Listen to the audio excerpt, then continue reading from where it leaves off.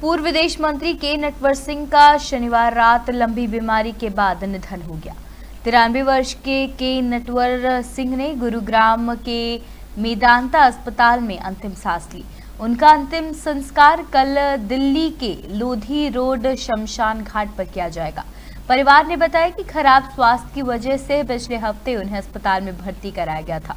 पूर्व विदेश मंत्री के नटवर सिंह की निधन से राजनीतिक गलियारों में शोक पसरा है। उनके चाहने वाले सोशल मीडिया पर उन्हें याद करते हुए भावुक पोस्ट कर रहे हैं। और शोकित परिवार के प्रति संवेदना व्यक्त कर रहे हैं। कई राजनेताओं ने भी उनके निधन पर शोक व्यक्त किया है। लोग उनके निधन को एक भारी और अपूर्णीय क्षति बता रहे हैं। प्रधानमंत्री मोदी ने नटवर सिंह के निधन पर दुख जताया है। उन्होंने सोशल मीडिया पर लिखा कि मैं श्री नटवर सिंह जी के निधन से दुखी हूँ।